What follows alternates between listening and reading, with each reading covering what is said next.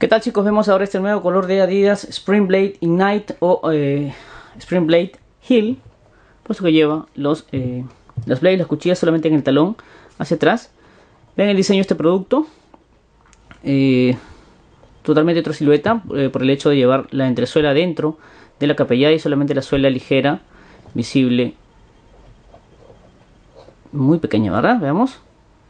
Muy delgada. Con cortes para flexión en la parte media, tres cortes. Y eh, vamos a dar una vuelta pequeña a este producto. ¿sí? De toques plomo claro y azul marino, como se ve claramente.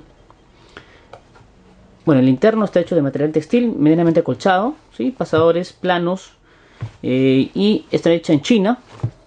Los pasadores, eh, les indico nuevamente, azules y planos y la lengüeta textil totalmente transpirable, porosa, así como también la eh, parte media y toda la zapatilla que está hecha de material textil en fusión con eh, este material eh, sintético, es como una pintura adherida, ¿sí? que le da un poco de más de fortaleza al producto, eliminando las costuras. Bien, la puntera con el logo de Adidas, vean la suela ahora. Así es.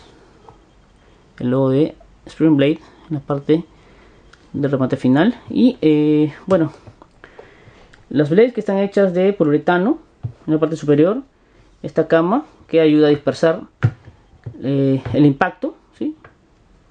y a la vez a impulsarnos un poco más o a rebotar un poco más. Chicos vean nuevamente el color